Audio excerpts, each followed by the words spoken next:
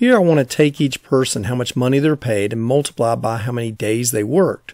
So basically, it'll tell me how much total they got paid. So here's Ann.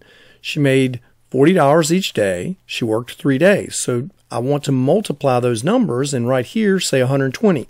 I don't want to just type 120 in there because I might change the number of days she worked. She might, the money paid each day, we may have incorrect and that might change to 35. So we want to actually multiply this cell right here, B2, by this cell C2. So we come in here where we want the answer to be displayed. We type equals to tell it to calculate something. And we're just going to type B2. Now we want to say multiply. Put a little star there. That means multiplication. And then I just click C2 or type C2, hit enter, and it's 120. Notice that if, oh wait, she didn't make $40, it was $50 a day she made. If I change that, very quickly it recalculates as soon as I hit the enter button and it does 50 times 3.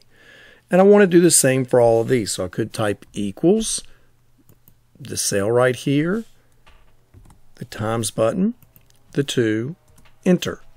Or I can again simply grab the corner, drag it down to here, and it'll do a fill down. And now notice when I click here in this cell, it shows right here that it was doing B5 times C5. It was actually doing the exact formula that we had it do up above.